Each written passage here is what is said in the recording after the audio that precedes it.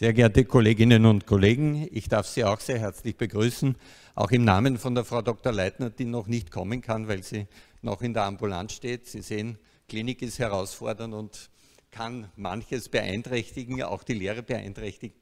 Aber nachdem ich zuerst beginne, glaube ich, können wir durchaus mit der Lehrveranstaltung oder mit der Informationsveranstaltung, ist ja keine Lehrveranstaltung, beginnen. Ich möchte mich ganz herzlich bedanken äh, beim Herrn Yu und seinem Team der Studienvertretung Humanmedizin, die uns hierbei unterstützen, weil ich glaube, dass äh, das Prinzip Diplomarbeit bzw. das wissenschaftliche Arbeiten natürlich ein sehr, sehr wichtiges ist im Studium. Und nachdem es sehr, sehr schwierig ist für alle Studierenden, dieses Prinzip zu synchronisieren, das heißt, sie werden unterschiedlich weit fortgeschritten sein, je nach ihren individuellen Interessen beziehungsweise wie die jeweilige Studienlage ist. Und daher ist es für Sie dann auch ganz wichtig, dass Sie möglicherweise in dieser Präsentation dann einmal nachsehen, was es so an Interessantem oder an Beachtenswertem zur Projektstudie beziehungsweise zur Diplomarbeit geben könnte. Drum diese Veranstaltung Nützliches zur Projektstudie und Diplomarbeit die eben von der Frau Dr. Leitner und von mir gestaltet wird. Äh, die Zielsetzung, Gegenstand dieser Veranstaltung ist, dass ich zuerst einiges so über Zielsetzung von wissenschaftlichem Arbeiten, die Rahmenbedingungen und was es so an besonderen Dingen gibt, die zu beachten sind, dass man das extra erwähnt, dass die Frau Dr. Leitner dann spezielle Anregungen gibt, wie man das angehen soll weil das eine ist, man arbeitet wissenschaftlich, aber natürlich erhebt sich dann die große Frage, wie lege ich das am besten und am zielgerichtetsten an für meine individuellen Bedürfnisse. Und da hat sie als Kollegin, die selbst diese Diplomarbeit schon durchlaufen hat, natürlich gute Erfahrungen, wie das jetzt funktioniert für die eigentlich betroffenen Studierenden hier an der Med-Uni Wien. Und eben der Abstand ist nicht ganz so weit her, wie es bei mir her ist. Das der, der Einstieg ins wissenschaftliche Arbeiten. Und was natürlich ganz wichtig ist danach, ist das Fragenstellen. Das heißt, nachdem es so individuell ist, werden von Ihnen sehr, sehr unterschiedliche Fragen kommen zu dieser Thematik. Und diese Fragen bitte Einerseits können wir danach diskutieren, aber bitte auch insbesondere im Vorfeld, während der Präsentation, wenn Ihnen was auffällt, Sie können sich natürlich auch laufend melden und sagen, hoppla, da gibt es eine Frage, aber Sie können es auch zwischendurch hier über das Webpoll diese Fragen richten, sowohl an mich als auch dann an die Frau Dr. Leitner. Um gleich zu beginnen, Projektstudie, Diplomarbeit, das Ziel, was ist das Ziel? Das Ziel ist ein Schriftstück. Dieses Schriftstück hat mehr als 50 Seiten, laut unseren Richtlinien. Die 50 Seiten sind willkürlich gewählt, aber sie sind gewählt. Das heißt, wir haben uns darauf geeinigt, dass dieses Werk 50 Seiten haben soll und bitte diese 50 Seiten auch einhalten. Bitte hier nicht versuchen zu verhandeln, dass Sie sagen, 48 sind auch genug, weil dann sind 48 genug, dann sind 46 genug und für manche Kollegen sind dann auch nur 17 Seiten genug. Das heißt, irgendwo muss es eine Grenze geben. Äh, und wenn man sich betrachtet, was in so einer Diplomarbeit alles drinnen sein soll, und Sie sehen es hier auf der rechten Seite aufgelistet, das soll eine Literaturübersicht sein, jede Diplomarbeit soll im Prinzip zur Einleitung einen narrativen Review haben. Dann sollen die, äh, die Methodik, die Verfahren, die Sie verwenden zur Diplomarbeit, sollen ausführlich beschrieben sein und das nach Möglichkeit auf SOP-Ebene, um wirklich nachvollziehen zu können, was Sie gemacht haben. Dann die Ergebnisse darstellen, aber nicht nur die Ergebnisse, die in tollen wissenschaftlichen Zeitschriften publizierbar sind, sondern alle Ergebnisse, die sie bekommen haben, wo es mehr der Nullhypothese als der H1-Hypothese entspricht. Das sind wichtige Ergebnisse. Das sind wichtige Ergebnisse für Ihre Kolleginnen und Kollegen, die auch Diplomarbeiten schreiben werden und wahrscheinlich dann zum gleichen Thema, wo sie eben die Nullhypothese bestätigt haben, das Gleiche noch einmal machen. Die gleichen Studien werden hundertmal gemacht, obwohl man es eigentlich schon weiß, aber es nicht wirklich weiß, weil es nirgends dargestellt ist. Also bitte auch sozusagen die nicht erfolgreichen Experimente, die sind erfolgreich, weil sie eine klare Frage dazu gehabt haben und eine klare Antwort bekommen haben. Das heißt, das Ergebnis, dass hier kein Unterschied, dass kein Einfluss ist, ist ein wichtiges Ergebnis. Bitte daher diese Ergebnisse auch unbedingt in der Diplomarbeit publizieren. Ganz wichtiger Punkt. Und wenn Sie danach noch diese Ergebnisse entsprechend zum Stand der Wissenschaft darstellen, entsprechend diskutieren, dann landen Sie meistens, und das ist der Erfahrungswert, bei 80 bis 100 Seiten. Das heißt, es ist weniger das Problem, 50 Seiten zu erreichen, weil man so viel nicht schreiben kann, sondern es ist meistens das Problem, dass die Betreuer dann möglicherweise auf sie einwirken und sagen, könnte man den Text nicht etwas kürzer gestalten. Die längste Diplomarbeit, die mir vorgelegt worden ist, hat 768 Seiten gehabt.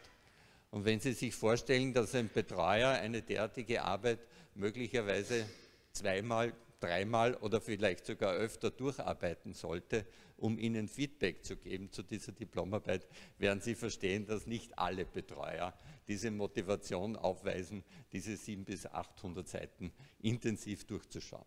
Also um hier einen Zwischenweg zu finden, das ausführlich darstellen zu können, aber auf der anderen Seite halt natürlich auch nicht unnötig dann Texte korrigieren zu müssen, eben dieser Kompromiss auf 50 Seiten. Äh, was Sie hier insbesondere an Kompetenz dafür aufweisen müssen, ist, wie Sie auch unten dargestellt sehen, ist eben die Literaturbearbeitung, ist, dass Sie eine Studie durchführen und ist, dass Sie das entsprechend darstellen, durchschreiben, zeichnen, habe ich es jetzt einmal sehr salopp formuliert. Das heißt, Sie müssen die Abbildungen entsprechend generieren. Das heißt, Sie haben eine gewisse Kompetenz von Ihren Einschulungen, von ihren Vorerfahrungen in den speziellen Studienmodulen, was eben die Literaturbearbeitung betrifft. Das werden wir dann kurz noch eingehen. Wie man eine Studie durchführt, werden Sie sozusagen erfahren anhand eben dieser Studie, die Sie machen werden. Und Schreiben ähm, ist ein schwieriger Punkt, weil sozusagen Schreibwerkstätten bzw. Schreiberfahrungen erwirbt man natürlich nicht so während des Studiums, aber nachdem äh, sozusagen Sie eine, eine höhere Schulbildung absolviert haben, sollte auch das Schreiben selbst kein wirkliches Problem darstellen. Zum Thema Diplomarbeit, was kann wirklich als Diplomarbeit verwendet werden? Diplomarbeit ist eine wissenschaftliche Arbeit. Wenn ich Sie jetzt fragen würde, was ist eine wissenschaftliche Arbeit und wenn ich da so reinschaue, würde ich wahrscheinlich 50 Antworten bekommen. Das heißt, da gibt es eine unterschiedliche Ansicht, was jetzt wirklich Wissenschaft ist. Kann man natürlich aus verschiedenen Richtungen betrachten, aber ich glaube, die schönste Definition hat Karl Jaspers in seiner Definition der Wissenschaft in der Idee der Universität 1980 formuliert, indem er sagt, ist die methodische Erkenntnis, deren Inhalt zwingend gewiss und allgemeingültig ist. Hier stecken alle Wissenschaftskriterien drinnen, aber der wichtigste Punkt ist die methodische Erkenntnis. Das heißt, wenn Sie ein spezielles Verfahren verwenden, ich darf die Frau Dr. Leitner begrüßen, wenn Sie ein bestimmtes wissenschaftliches Verfahren verwenden, dann werden Sie eine wissenschaftliche Arbeit durchführen. Das heißt, das Wichtige ist, dass Sie eben sozusagen eine spezielle Methodik anwenden. Das klingt jetzt sehr selbstverständlich, aber wenn, wenn man sich manche Projektpläne durchliest, dann hat man oft nicht den Eindruck, dass den Studierenden wirklich bewusst ist, welche Verfahren sie verwenden. Und dass sie mit den Verfahren auch vom Weg wissen, wie sie zu dieser Erkenntnis kommen, wie auch das Jaspers so wunderschön formuliert, ist, glaube ich, ein, ein sehr, sehr wichtiger Punkt. Also wenn eine definierte Methodik dahinter ist und danach was Neues herauskommt, dann haben Sie Wissenschaft betrieben. Ist nicht das Prinzip, ich weiß nachher mehr, ich habe es ein bisschen einfacher formuliert, Sie sehen es rechts unten stehen, man weiß nachher mehr. Also nicht, weil Sie viel gelesen haben und jetzt selbst viel wissen, sondern weil die Allgemeinheit, eben diese Allgemeingültigkeit erfüllt ist. Deswegen haben sie die wissenschaftlichen Kriterien erfüllt. Warum Wissenschaft vielleicht noch ganz kurz? Warum Wissenschaft im Medizinstudium? Wird auch immer diskutiert. Warum keine nur Spezialausbildung? Sprich, dass Sie eine reine Praxiskompetenz erfahren, wie man Patienten betreut ist ja eigentlich auch eine Zielsetzung im Humanmedizinstudium. Wenn Sie die zwei Prinzipien anschauen, forschungsgeleitet lehren und forschend lernen, vom Lehren her ist es natürlich, dass Sie sozusagen das entsprechende Wissen erfahren, dass Sie am Stand der Wissenschaft sind, dass Sie mitdenken können, dass Sie nachvollziehen können, um eben dann auch den ärztlichen Alltag bewältigen zu können. Aber ich glaube, der wichtige Punkt ist für Sie dieses forschende Lernen, das Sie hier auch im Rahmen der Diplomarbeit erfüllen bzw. erfahren sollten. Und da geht es insbesondere darum, kritisches, analytisches Denken, Reasoning, wenn Sie Patienten betrachten, wenn Sie hier Argumentationen finden, warum Sie bestimmte Wege ein, äh, auf bestimmte Wege eingehen müssen, dass Sie begründet und selbstständig agieren, dass Sie eben planen können, koordinieren können, Management haben, dass Sie Problemlösungskompetenzen erfahren und insbesondere, und das ist der Punkt, der entfetzt dass Sie auf relevante Fragen eine begründete Antwort geben können. Und ich glaube, das ist das fundamentale Ziel einer wissenschaftlichen Arbeit, dass Sie lernen, auch in kurzen Worten auf eine relevante Frage eine begründete Antwort zu geben. Und nicht sagen, ich glaube, das ist jetzt so und wenn ich das so mache, dann könnte es so sein. Sie sind mit einer Frage konfrontiert. Die Frage heißt Patient inklusive Problem. Entschuldigung, wenn ich Patient mit Problem gleichsetze, aber ideell gleichsetze. Das heißt, der Patient kommt mit einer bestimmten Problemstellung daher. Da gibt es einen Beratungsanlass. Das ist für den Patienten ein Riesenproblem. Und dieses Problem sollen Sie lösen. Das heißt, dazu müssen Sie eine konkrete, relevante Frage stellen. Und auf diese konkrete, relevante Frage müssen Sie mit den entsprechenden Verfahren eine begründete Antwort geben. Das heißt, auch dieser Prozess ist für Sie ärztlicher Alltag. Und ich glaube, wenn Sie das an einem definierten Modell einer wissenschaftlichen Arbeit inklusive kritisches Denken und all das, was hier aufgelistet ist, durchexerzieren, dann sind Sie hier auch einen großen Schritt weiter in der Kompetenz, die Patienten adäquat zu betreuen. Ihr Weg zur Wissenschaft, Sie haben schon einiges hinter sich gebracht, SSM 1, war im Prinzip die Auseinandersetzung mit Literatur. Das heißt, Sie wissen jetzt schon, wie man Literatur findet, was Literatur ist, wie Literatur zu bewerten ist. Hat man manchmal nicht den Eindruck, wenn man sich die Projektpläne ansieht und da die Quellenangaben liest, ob sie wirklich das entsprechende, ob alle Studierenden schon das adäquate Literaturverständnis haben welche Quellen hier herangezogen werden sollten und natürlich auch, dass diese Literatur entsprechend verwaltet gehört. Im Block 17 haben Sie erfahren, wie man Studien auswertet. Das heißt, Sie haben eine entsprechende statistische Kompetenz erlangt. In Block 24 geht es jetzt darum, Richtung Eigenaktivität zu gehen. Block 24 ist äh, initiiert worden, um eben auch für Sie zu initiieren, dass man sich mit Wissenschaft auseinandersetzen soll, um Ihnen anzuraten, dass Sie sich damit auseinandersetzen, welcher Bereich für Sie attraktiv sein könnte und vor allem dann auch, welche Studie Sie durchführen könnten, beziehungsweise in einem definierten Format eben diese Aufgabenstellung zu erfüllen, dass Sie anhand eines konkreten Beispiels eine wissenschaftliche Studie planen. Also Planung und hier natürlich noch Möglichkeit an der eigenen Diplomarbeit das Planen. Nachdem Sie methodisch für die verschiedenen Bereiche in, den, in, der Medizin nicht vorbereitet sind im Rahmen des Studiums, weil es ja hier hauptsächlich darum geht, dass Sie Hintergründe erfahren, dass Sie erfahren, wie äh, die Biologie funktioniert, wie die Pathophysiologie geht, wie Therapieansätze sind, so erfahren Sie ja nicht wirklich konkret wissenschaftliche Verfahren in Ihrem Studium, um Sie dabei zu unterstützen, natürlich auch die Methodenkompetenz zu erweitern, gibt es das Modul SSM 4, die sogenannten Methodenseminare und dann natürlich die eigentliche Diplomarbeit. Soweit zur Einführung, zum Überblick. Jetzt geht es sozusagen ins Detail, was hier betrachtet werden sollte. Sozusagen organisatorisches, beziehungsweise auch, wie setzt man all das am besten um. Von mir eben die Sichtweise, sozusagen, wie tue ich es formal, was habe ich zu beachten und dann von der Frau Dr. Leitner sozusagen, wie lege ich es wirklich individuell an, damit es meinen Bedürfnissen entsprechen kann. Bitte die Informationsquellen, die bereitgestellt werden, betrachten. Äh, Sie sehen hier die drei Informationsquellen angeführt. Das heißt, da ist der Study Guide vom Blog 24, da ist die Themenbörsenseite beziehungsweise die Unterseiten mit den Informationsquellen und dann gibt es die Diplomarbeitsseite. Ich weiß, es sind drei Seiten, es wäre schöner, wenn man das alles auf einer Seite hätte, aber es geht nicht anders, weil man muss die anderen Bereiche auch bedienen, man muss die anderen Bereiche auch durchgehen.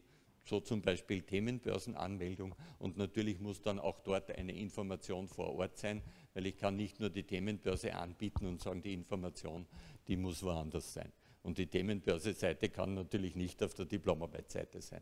Darum bitte um Verständnis, dass das hier drei Seiten sind und bitte die drei Seiten wirklich zu Rate ziehen, wenn Sie irgendeine Information zu den jeweiligen Bereichen, Projektstudie bezieht sich natürlich auf Block 24 bzw. auf die Themenbörse-Seite und die Diplomarbeit für die Diplomarbeit danach.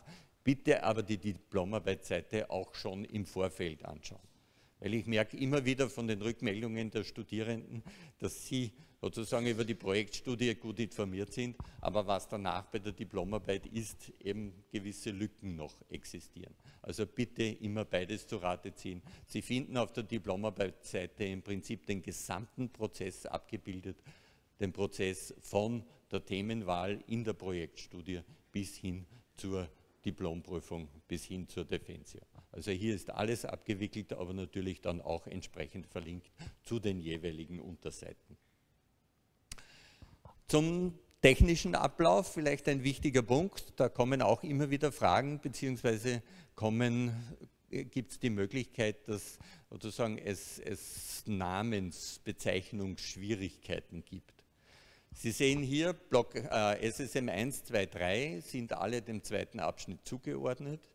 Ähm, SSM 3, Block 24, diesem Modul ist die Projektstudie zugeordnet. Das heißt auch, dass diese Projektstudie innerhalb dieses Moduls absolviert werden muss. Das heißt, SSM 3 ist dem zweiten Abschnitt zugeordnet, daher muss es auch im zweiten Abschnitt absolviert werden. Wenn Sie SSM 3 im zweiten Abschnitt nicht absolvieren oder zum Beispiel in diesem Sommersemester nicht absolvieren, dann können Sie im Herbst nicht in den dritten Abschnitt wechseln. Das ist eine Erfordernis für die sogenannte zweite Diplomprüfung, dass SSM 3 erfüllt ist. Also bitte die Präsentation durchführen. Ist alles kein Problem, klingt jetzt sehr dramatisch, aber es hat bislang noch kein Studierender ein Problem gehabt, diese Projektstudie auch tatsächlich zu absolvieren, sofern sie hingegangen sind und sofern sie sich dafür angemeldet haben. Also das war kein Problem. Es hat manchmal Auflagen gegeben, aber dafür gibt es ja Ersatzleistungstermine. Das heißt, hier kann man die Auflagen dann entsprechend erfüllen. Das gibt es natürlich schon, wenn die Pläne nicht passen oder was auch immer. Aber im Prinzip ist das keine Schwierigkeit, das wirklich zu erfüllen. Aber noch einmal, es ist dem zweiten Abschnitt zugeordnet, daher muss es im zweiten Abschnitt erfüllt werden. Und dann gibt es halt manchmal im September das Erwachen, ja, das habe ich übersehen, dass ich das noch bringen sollte. Und dann ja, da müssen irgendwelche Verrenkungen angestellt werden, damit es halt dann doch möglicherweise noch möglich ist. Aber bitte einfach schauen, dass Sie das wirklich erfüllt haben. Dieses SSM3-Projektstudie ist im Prinzip die Grundvoraussetzung, die Diplomarbeit anmelden zu können, die Diplomarbeit formal beginnen zu können. Die Diplomarbeit ist, wie Sie hier sehen, keinem Abschnitt zugeordnet. Das heißt, Sie können nach SSM 3 auch im zweiten Abschnitt schon beginnen oder Sie beginnen im dritten Abschnitt. Hier gibt es keine zeitlichen Fristen. Aber wie gesagt, der Ablauf, die Idee ist ja, dass Sie entsprechend wissenschaftlich vorbereitet werden durch SSM 1, 2, 3 und dann mit der Diplomarbeit beginnen. Also darum auch dieser didaktische Aufbau und dann geht es mit der Diplomarbeit los. SSM 4 also die Differentialdiagnose Projektstudie ist nicht gleich Diplomarbeit. Das ist ein wichtiger Punkt. Ich lese das immer wieder. Ich bin für meine Diplomarbeit angemeldet. Jetzt sind Sie für Ihre Projektstudie angemeldet, aber nicht für die Diplomarbeit. Jetzt sind Sie alle wahrscheinlich für irgendeine Projektstudie angemeldet, aber nicht für die Diplomarbeit. Bitte das beachten, dass das zwei getrennte Elemente sind, Curriculum-Elemente sind. Die Projektstudie ist eine Lehrveranstaltung, wichtiger Punkt, ist eine Lehrveranstaltung eben im Rahmen von SSM 3 und die Diplomarbeit ist ein eigenes Modul. SSM 4, das wird auch immer wieder verwechselt, ist auch ein eigenes Curriculum-Element. SSM 4 ist, wie Sie hier sehen, dem dritten Abschnitt zugeordnet. Sie können aber die Lehrveranstaltungen von SSM 4, sprich die Methodenseminare, auch schon früher absolvieren. Für manche von Ihnen vielleicht äh, zugetroffen, indem Sie Statistikseminare schon im siebten Semester absolviert haben und für viele von Ihnen wahrscheinlich zutreffend, weil Sie die anderen Methodenseminare, weil Sie eben insbesondere Zeit haben im achten Semester dafür, dass Sie diese Methodenseminare im achten Semester absolvieren. Nachdem SSM 4 aber dem dritten Abschnitt zugeordnet ist, müssen Sie die Methodenseminare erst bis zum Studienende absolvieren. Das heißt, Sie können sich individuell wählen, ob Sie das schon im zweiten Abschnitt absolvieren oder erst im dritten Abschnitt. Also bitte hier klar differenzieren. Methodenseminare ist gleich SSM 4, unabhängige, unabhängiges Curriculum-Element bis zum Ende des Studiums, SSM 3 bis zum Ende des zweiten Abschnittes zu absolvieren.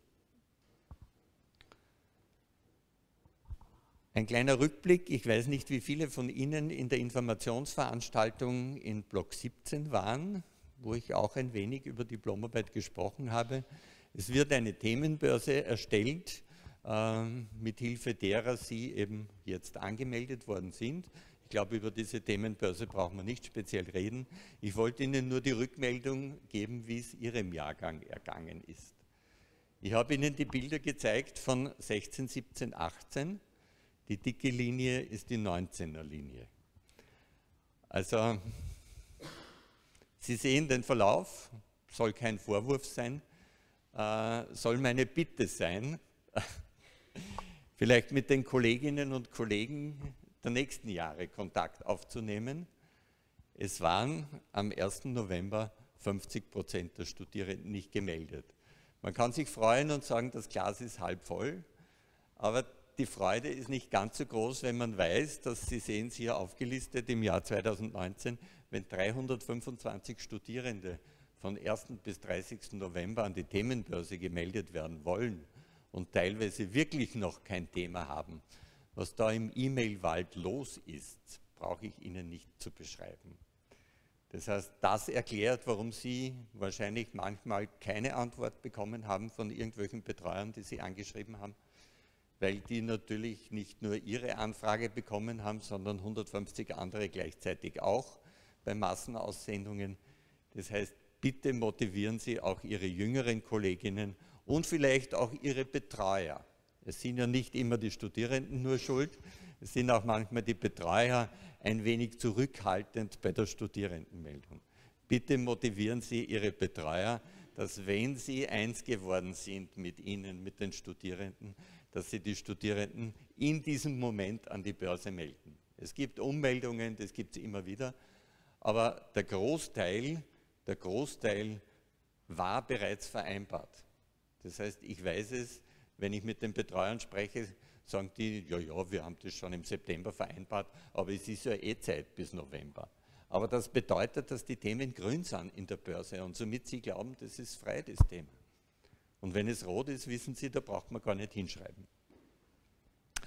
Ähm, eine Frage, die jetzt schon hereingekommen ist, ist es möglich, ein Methodenseminar im achten Semester zu besuchen und eins im neunten oder zehnten? Müssen sozusagen die Methodenseminare im gleichen Semester also beide Methodenseminare im gleichen Semester absolviert werden. Es sind zwei unabhängige Lehrveranstaltungen, die beiden Methodenseminare, und somit können Sie ein Methodenseminar im siebten Semester und eins im zehnten oder im achten, beide im neunten. Also Sie können das beliebig kombinieren. Es müssen nicht beide im gleichen Semester absolviert werden. Hier die Methodenseminare vielleicht noch einmal hier oben kurz zusammengefasst. Ich glaube, das soll nur zeigen, dass es viele gibt von denen. Was wichtig ist, im Wintersemester Statistikseminare im Block- und Leinformat und im Sommersemester alle Methodenseminare im Blockformat. Und das gilt natürlich auch für alle kommenden Jahre. Das heißt, für Sie wird es natürlich schwierig, wenn Sie jetzt im vierten Jahr die Methodenseminare nicht absolvieren, dass Sie im fünften Jahr, wo Sie gleichzeitig Tertiale haben, äh, dass Sie hier im Blockformat ein Methodenseminar absolvieren. Darum wirklich dringend, dass Sie Methodenseminare so früh wie möglich absolvieren. Die Ziele von der Projektstudie, und das ist jetzt die Aufgabe, vor der Sie unmittelbar stehen, worum geht es, wie wird das abgewickelt? Wie schon erwähnt, die Projektstudie ist die Planung eines wissenschaftlichen Projektes nach Möglichkeit am Beispiel der eigenen Diplomarbeit. Sie bekommen alle Folien ins Netz gestellt. Ich habe es nur, Sie können es auch gern fotografieren, aber, äh, aber äh, ich habe es deswegen nicht ins Netz gestellt, weil viele Fragen hereinkommen und die Fragen möchte ich dann auch noch in die Präsentation hineingeben und dann kriegen Sie nicht zwei Versionen, sondern kriegen gleich die kombinierte Version. Ja, worum geht es im, im Block 24? Planung einer wissenschaftlichen Studie nach Möglichkeit am Beispiel der eigenen Diplomarbeit. Wie gesagt, nach Möglichkeit. Das ist ein wichtiger Indikator, wir werden auf das noch eingehen. Und worum es bei einer Studienplanung geht, ist hier aufgelistet. Das heißt, das beginnt beim Aufarbeiten der wichtigen Literatur, der wesentlichen Literatur, Definition einer Problemstellung. Bitte immer von einer Problemstellung ausgehen und nicht den Kühlschrank öffnen und schauen, was nicht abgearbeitet ist. Nicht in irgendwelche Datenbanken hineingehen und sagen, naja, die Datenbank sollte ausgewertet werden bitte von einem Problem ausgehen. Zu diesem Problem die entsprechenden Fragen stellen, die relevanten Fragen, die zielgerichteten Fragen, die sich auf das Problem beziehen. Klingt so einfach, ist aber nicht immer so einfach. Bitte das wirklich durchexerzieren. Dann Definition, worum geht es in der Studie wirklich? Wo möchte ich hin? Was möchte ich erreichen? Nicht, was sollte die Menschheit erreichen? Ich lese in den Projektplänen immer, dass die Menschheit geheilt werden soll. Ja, ist ein tolles Ziel, aber ist nicht Ihr Ziel bei Ihrer Diplomarbeit. Ihr konkretes Ziel, wo Sie hinkommen werden, wo Sie eine Antwort darauf geben wollen. Das ist das, was in Ihrem Projektplan dann drinnen ste stehen sollte und worum es bei der Planung einer wissenschaftlichen Studie geht. Natürlich Festlegen der Arbeitsmethoden, haben wir gesagt. Das methodische Bewusstsein muss drinnen sein, Definition der Methodik und auch Aussagekraft der Methodik bewerten. Ich kann nicht irgendeine Methodik verwenden und dann draufkommen, dass die irrelevant ist für meine Fragestellung. Also auch die Aussagekraft der Methodik bewerten. Dann schon, wenn Sie sich sicher sind, dass Sie diese Studie tatsächlich durchführen werden, auch schon einarbeiten in die jeweilige Methodik, weil ja, wie gesagt, Sie haben bestimmte Verfahren nicht erfahren. Bislang im Studium ist es ganz gut, wenn man die Zeit nützt und während dieser Vorbereitungszeit sich die jeweiligen Methoden auch schon ansieht. Und gegebenenfalls schon vorarbeiten hinsichtlich Voten. Da wird es noch eine eigene Folie geben. Ich werde immer wieder gefragt, gibt es da eine Lehrveranstaltung dazu? Es gibt keine Lehrveranstaltung dazu. Sie wickeln das individuell mit Ihren Betreuern ab. Sie vereinbaren individuell Termine, wo Sie sich treffen, wo Sie Arbeitspakete sozusagen empfangen werden und wo Sie eben dann diese entsprechenden Arbeiten, Literaturbearbeitung, was auch immer, Definition der Ziele, was auch immer festlegen und das im Wechselspiel mit Ihrem Betreuer, mit Ihrer Betreuerin abwickeln. Also keine definierten Termine von der Uni, sondern Sie vereinbaren die Termine individuell mit Ihren Betreuern. Und dann, wenn das geschehen ist, kommt es eben am Ende zur Präsentation dieses hoffentlich Diplomarbeitsprojektes, natürlich formal der Projektstudie, in einer kleinen Gruppe, ungefähr Gruppengröße von zehn. Und Sie müssen gleichzeitig dazu die, die schriftliche Ausführung dieser Studie vorlegen. Noch einmal ganz wichtig unten Voraussetzung zum Übertritt in den dritten Studienabschnitt. Hier einige Details, sind jetzt doch einige E-Mails von Ihnen an mich und an die Frau Schenk und an die Studienabteilung und was auch immer unterwegs. Hier einige Punkte, die Sie bitte betrachten und beachten müssen. Noch einmal, Projektstudie ist formal eine Lehrveranstaltung. Und diese Lehrveranstaltung, äh, diese Lehrveranstaltung, äh, auch gleich die Antwort auf die Frage, die hereingekommen ist, für diese Lehrveranstaltung werden die Betreuer beauftragt. Und die Betreuer sagen zu, dass sie diese Lehrveranstaltung abhalten. Das heißt, das ist eine Betrauungsangelegenheit und darum ist das auch in diesem Format angelegt. Die Frage war, was ist, wenn mich der Betreuer für die Projektstudie im Stich lässt? Das gibt es nicht. Natürlich gibt es, sonst wäre die Frage nicht gekommen, schon klar. Aber dann bitte rückmelden an mich. Und dann bitte rückmelden an mich, dann muss ich Kontakt aufnehmen mit dem Betreuer. Der Betreuer hat zugesagt, dass er Sie bei dieser Lehrveranstaltung betreuen wird. Und diese Betreuung ist erfolgt und eine betraute Lehrveranstaltung muss abgehalten werden. Dann kann man natürlich noch reden und vielleicht wollen Sie dann selber nicht mehr mit diesem Betreuer, weil Sie sagen, ja, das hat sowieso keinen Sinn. Dann wird man vielleicht eine andere Lösung finden, aber formal muss dieser Betreuer liefern. Darum haben wir ja das in diesem Format angelegt. Also im Prinzip hat der diese Verpflichtung unterschrieben, dass er Sie bei dieser Lehrveranstaltung betreuen wird. Noch einmal, ob Sie dann bei diesem bleiben wollen oder vielleicht ein anderes Thema suchen wollen, da können wir gerne drüber reden, aber formal muss der Betreuer liefern. Ja, drum Lehrveranstaltung und drum eben dieser, dieser wichtige Punkt.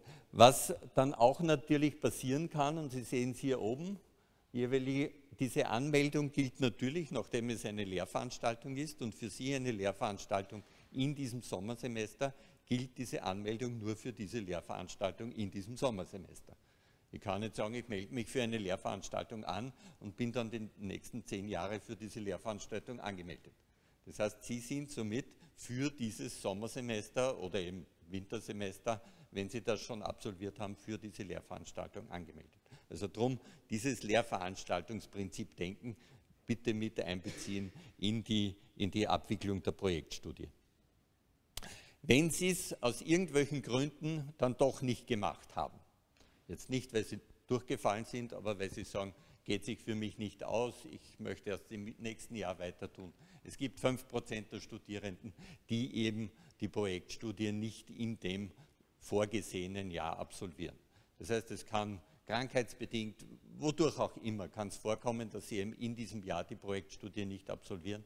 Dann bitte das nächste Jahr aktiv auf uns zugehen.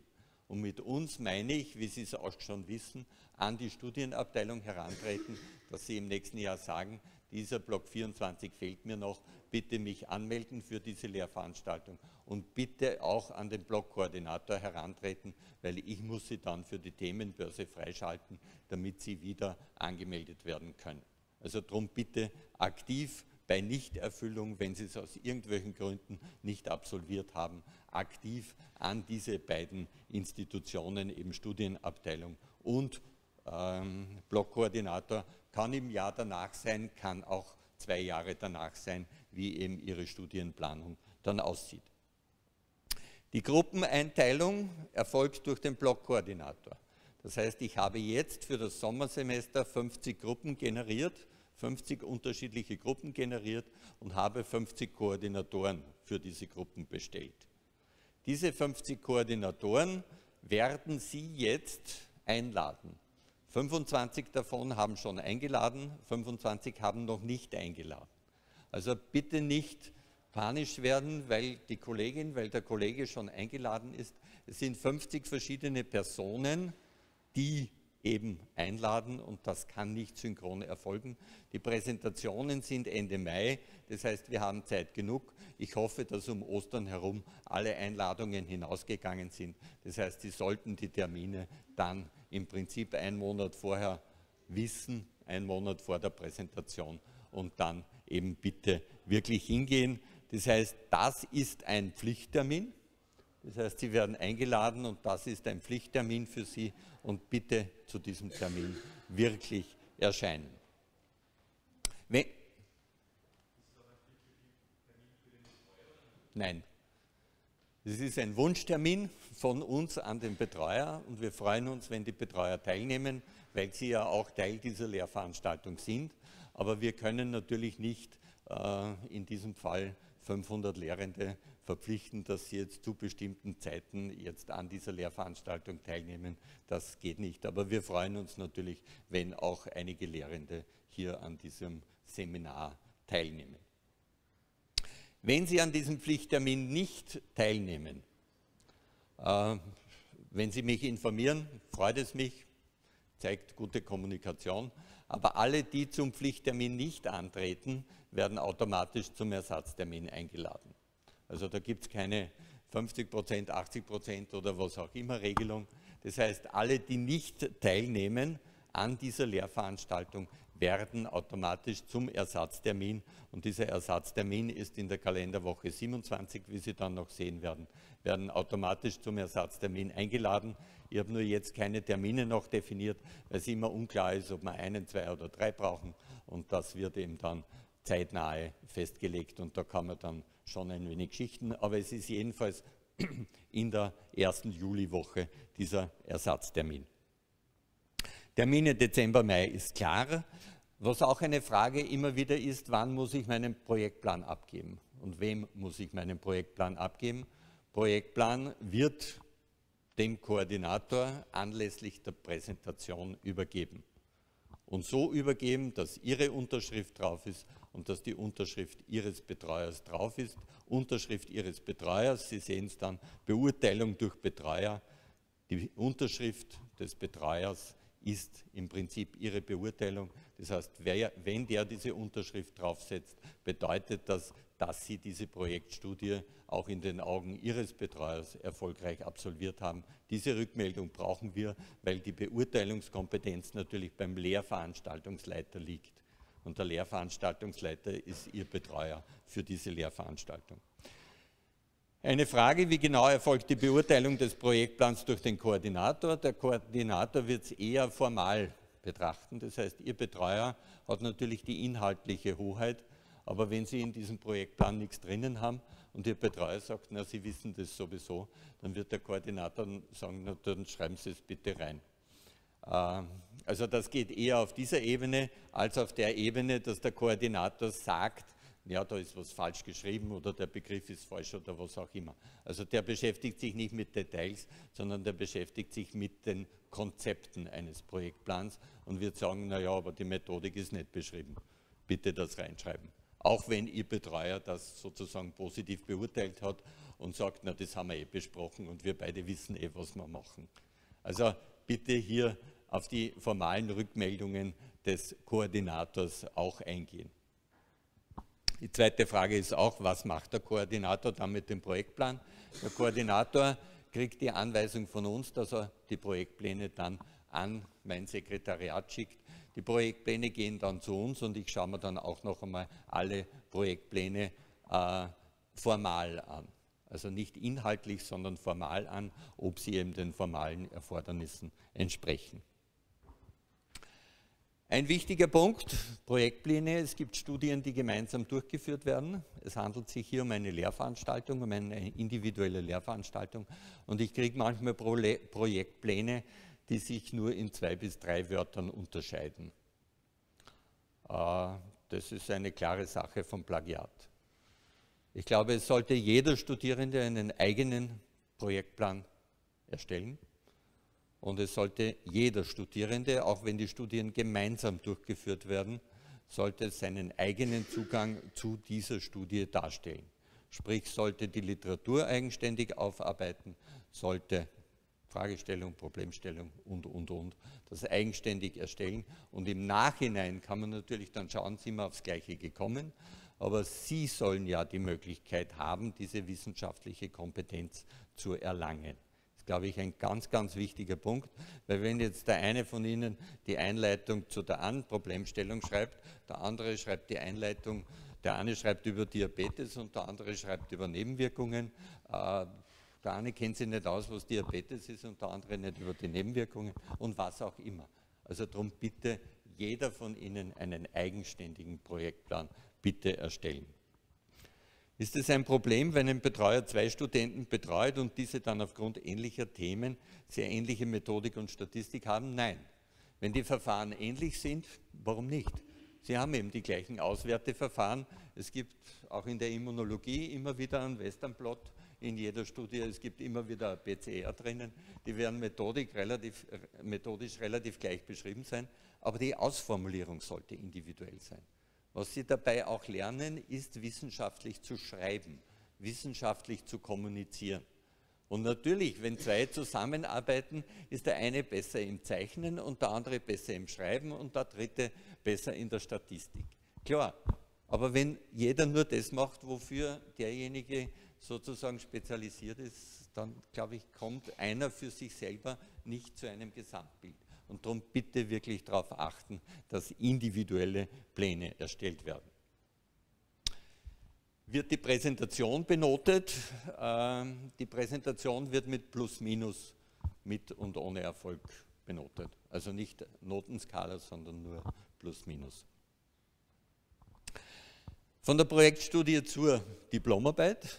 Das heißt, wenn Sie die Projektstudie erfolgreich absolviert haben, stehen Sie an, Ihre Diplomarbeit anzumelden. Drum eben auch noch einmal die Differenzierung. Das ist Projektstudie und das ist Diplomarbeit. Nach der Projektstudie ist die Projektstudie beendet und dann ist der Prozess formal einmal beendet. Nach erfolgreicher Absolvierung von SSM3 können Sie die Studie aus SSM3, also die, die Sie geplant haben, als Ihre Diplomarbeit anmelden. Sie können aber auch ohne Angabe von Gründen eine andere Studie anmelden. Das heißt, das ist der Punkt, das ist der Ausstiegszeitpunkt. Wenn Sie sagen, ich bleibe doch nicht in der Immunologie, das ist mein Fach, ich bleibe doch nicht in der Immunologie, sondern gehe in die Endokrinologie oder wo auch immer hin, dann ist es Ihr gutes Recht. Bitte das nur kommunizieren. Dass Sie mir dann sagen, es war sehr schön, es hat mich sehr gefreut, aber ich möchte meine Diplomarbeit in einem anderen Bereich verfassen. Bitte kommunizieren. Und dieses Recht haben auch die Betreuer. Dass der Betreuer sagt, Herr Kollege, Sie wären besser in der Immunologie aufgehoben, aber nicht in der Endokrinologie.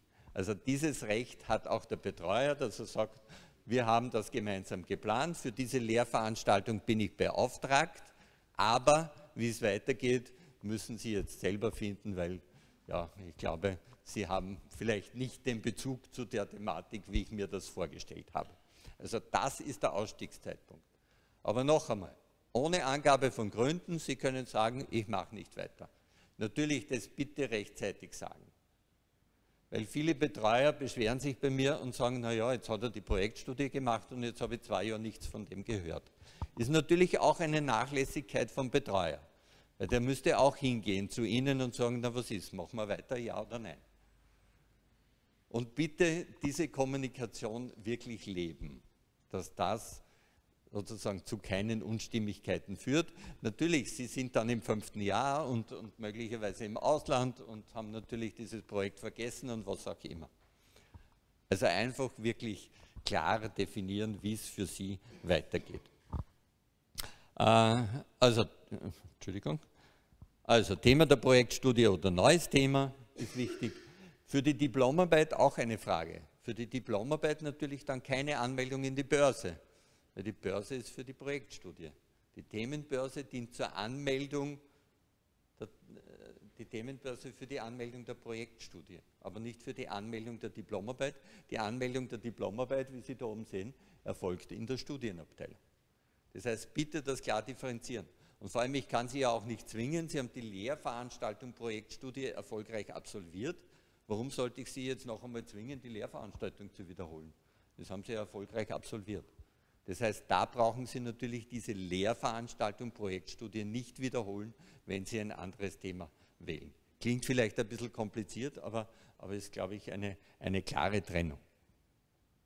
Wie gesagt, Vereinbarung mit Betreuer, Transparenz, Ausstiegszeitpunkt. Um Sie dabei zu unterstützen, wenn Sie andere Themen finden möchten, bitte natürlich auch die Themenbörse verwenden weil hier sehen Sie, welche Themen angeboten werden und hier sehen Sie auch, welche Themen neu hereingekommen sind. Wenn Sie jetzt nach SSM 3 sind und sich die Themen anschauen, die in der 19er Börse noch grün drinnen sind, dann werden die natürlich alle noch frei sein. Das heißt, wenn Sie nach SSM 3 jetzt von der Immunologie in einen anderen Bereich wechseln wollen, dann sehen Sie grüne Felder, ich weiß nicht, in der Chirurgie, inneren Neurologie oder wo auch immer, dann bitte diese Kollegen äh, kontaktieren, insbesondere die mit den höheren Nummern, weil die haben aktuell Themen hineingestellt und die suchen Kollegen und denen ist es im Prinzip ja dann gleichgültig, ob sie eine Projektstudie oder eine Diplomarbeit betreuen und sind wahrscheinlich sogar interessiert, wenn sie gleich in eine Diplomarbeit einsteigen. Aber da ist eine Frage hereingekommen, wieso muss man es melden, wenn man ein anderes Thema als die Diplomarbeitsthema verwendet, wenn SSM 3 und Diplomarbeit unabhängig voneinander sind? Ja, warum nicht? Wenn sie unabhängig voneinander sind, muss ich es extra melden, oder? Oder habe ich die Frage falsch verstanden? Weil eben das getrennt ist. Drum sagen, für die Projektstudie melde ich mich hier an und für die Diplomarbeit hier. Drum eben das wirklich klar voneinander trennen. Ja, der Projektplan, und das gilt jetzt gleichermaßen für die Projektstudie und für die Diplomarbeit, muss natürlich gewisse Inhalte haben. Und die Inhalte sind natürlich das, was man bei einer Planung einer wissenschaftlichen Studie tut. Das heißt, Sie haben ein Deckblatt, auf dem sozusagen die Player und die Rahmenbedingungen festgelegt sind. Abstract, Deutsch oder Englisch. Sprache kann Deutsch oder Englisch sein, wie Sie möchten, aber nur durchgehend. Also nicht einen deutschen Titel und einen englischen Text und umgekehrt. Also wenn Sie einen, ja, gibt's, aber wenn Sie, wenn Sie einen deutschen Titel haben, dann bitte die Arbeit auf Deutsch oder den Projektplan auf Deutsch und wenn Sie einen englischen Titel haben, dann halt alles auf Englisch. Kurzfassung, Inhaltsverzeichnis wäre sinnvoll, Wissensstand darstellen, äh, Problemstellung, sprich Wissenslücke klar darstellen, warum machen Sie das Ganze. Und dann natürlich auch spezielle Forschungsfrage, das Ziel definieren, die geplante Durchführung, Fallzahl, Kollektiv. Ganz wichtig, dass die Rahmenbedingungen definiert sind, dass Sie auch reinschreiben, wie Sie die Studie auswerten werden, die statistischen Verfahren. Es stehen auf Fall, fast keinen Projektplänen Fallzahlen drauf. Und wenn man dann nachfragt, sind alle beleidigt, weil sie sagen, ja, ich weiß ja eh, wie viele Patienten ich habe. Bitte hineinschreiben. Also das sind wirklich Rahmenbedingungen, weil die definieren die Studie. Und Quellenverzeichnis. Ich werde auch immer wieder gefragt, gibt es Vorlagen? Es gibt vom KKS eine Vorlage für retrospektive Studien. Der Großteil sind retrospektive, prospektive äh, Arzneimittel und was auch immer Studien. Die sind alle mit einem derartigen Projektplan abgedeckt.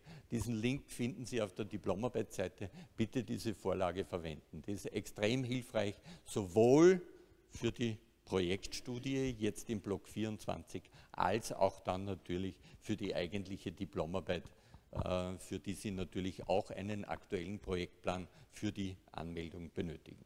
Also diese Vorlage, die hier zitiert ist.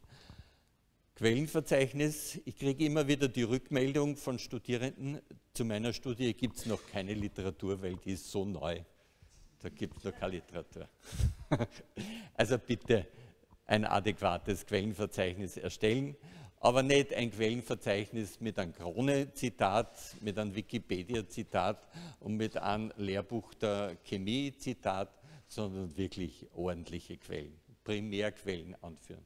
Also ich kriege immer wieder Quellenverzeichnisse, die sind, ich würde sagen, einmal als dürftig zu bezeichnen bitte hier wirklich darstellen, dass Sie sich mit der Literatur auseinandergesetzt haben und die entsprechend durchdrungen haben.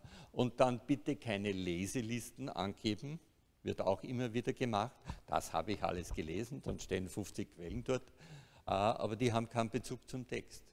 Ein Quellenverzeichnis ist dazu da, um das, was Sie in Ihrem Text, sei es jetzt der Projektplan oder die Diplomarbeit, dass Sie Bezug nehmen auf die Literatur, die zu diesen Aussagen passt, die Sie hier treffen. Sie sagen, no, na, aber leider passiert das auch immer wieder. Und diese Quellenverzeichnisse bitte nach dem Prinzip vollständig. Überprüfbarkeit, Nachvollziehbarkeit. Da steht Institut für, ich sage jetzt wieder mal Immunologie, also ich hoffe, wir machen es nicht. Quelle 7, Institut für Immunologie. Ich meine, wie soll ich die Quelle finden? Soll ich da jetzt hingehen und Fragen beginnen oder was auch immer? Also auffindbare Quellen, die für den geneigten Leser auffindbar sind, hier darstellen. Ist ein ganz, ganz wichtiger Punkt. Projektplan ist wichtig, ist das wichtigste Dokument für Sie ist insofern das Wichtigste, weil es eben die Festlegung Ihrer Studie ist. Das ist Ihre Vereinbarung mit dem Betreuer. Zu Dauer, Umfang, Zeitpunkt, was Sie alles machen werden. Das ist die Vereinbarung für Sie mit Ihrem Betreuer, aber auch umgekehrt für den Betreuer für Sie. Das heißt, da gibt es immer wieder unterschiedliche Ansichten. Wenn 100 drinnen stehen, 100 Patienten, sind es 100 Patienten. Und das soll dann nicht verhandelt werden. Die Studierenden sind dann manchmal geneigt, sozusagen die Zahl zu reduzieren und die Betreuer sind manchmal geneigt, die Zahl zu erhöhen. Und, und entstehen halt Meinungsverschiedenheiten, weil halt die Studie noch nicht abgeschlossen werden kann. Das ist der Vertrag und das ist auch ein zeitlicher Vertrag. Das heißt, wenn Sie sich nicht an diese Zeiten halten, kann Ihnen auch der Betreuer schreiben. Wir haben aber ausgemacht, dass wir das nächste Jahr die Studie durchführen und der Betreuer möchte ja die Studie durchführen. Dann wird er Ihnen ein Ultimatum stellen und wird sagen, kommen Sie jetzt ja oder nein.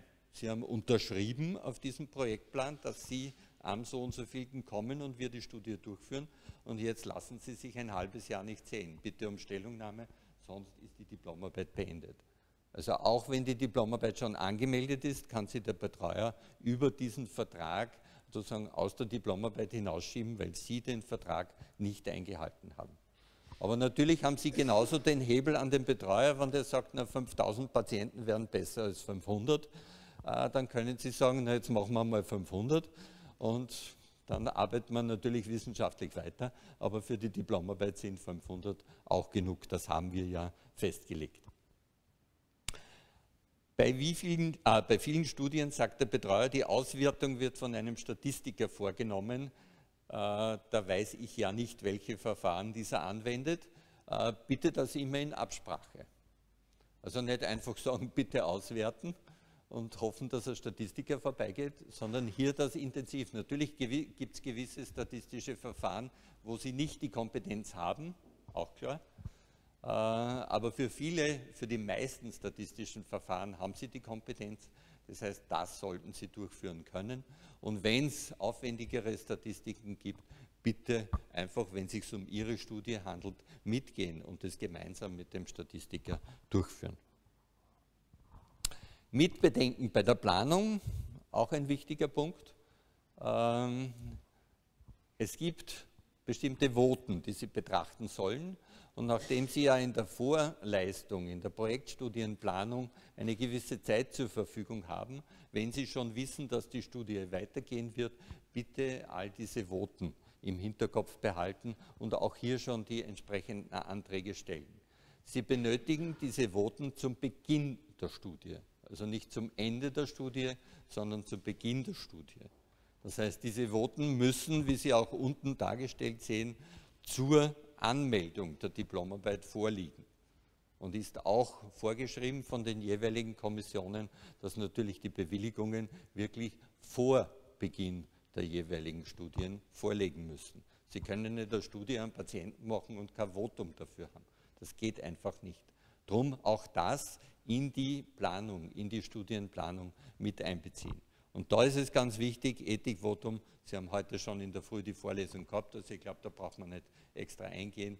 Bei Unklarheiten, die Frau Dr. Planer steht zur Verfügung, da gibt es fixe Gesprächstermine und Sprechstunden, wo Sie sie befragen können.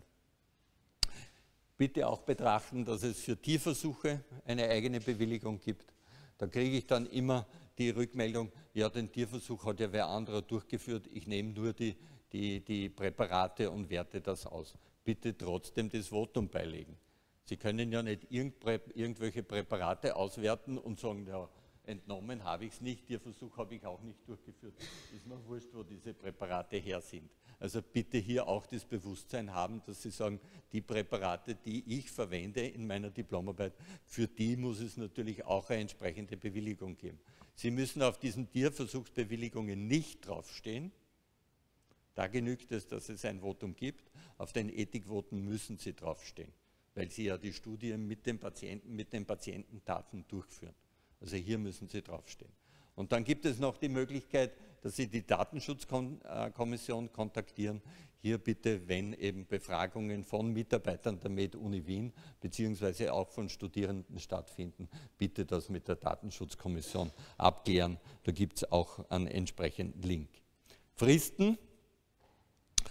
Die Anmeldung ist schon klar, die Präsentation ist auch klar. Ersatztermin, Kalenderwoche 27. Wie gesagt, der spezielle Termin wird noch festgelegt. Bei, Nichter, äh, bei Nichterfüllung der Projektstudie äh, eben die Wiederanmeldung ganz wichtig beachten. Äh, auch ganz wichtig, dass die Anmeldung der Diplomarbeit vor Beginn der Studie stattfindet und nicht zum Ende der Studie.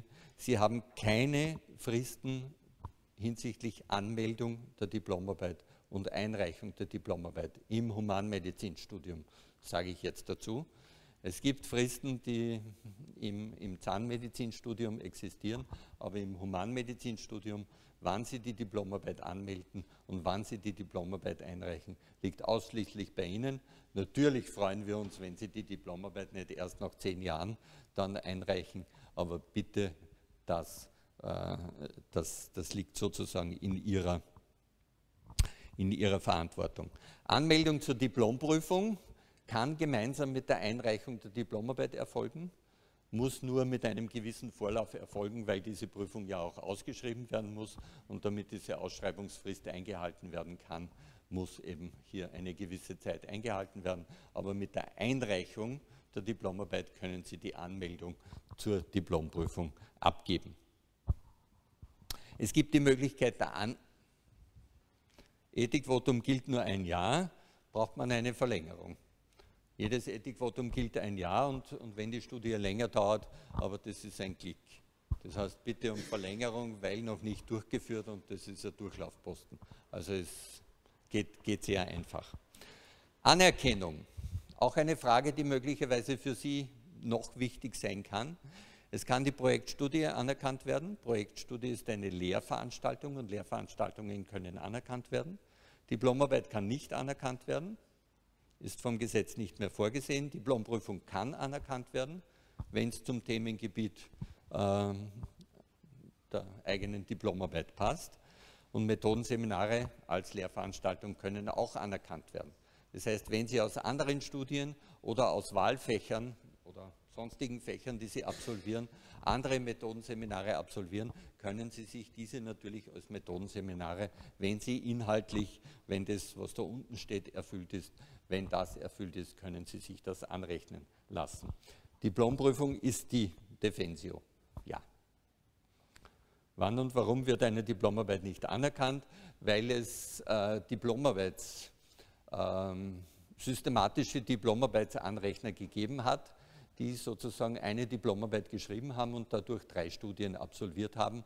Und darum hat es der Gesetzgeber nicht mehr akzeptiert und sieht das nicht mehr vor ist im UG nicht mehr vorgegeben.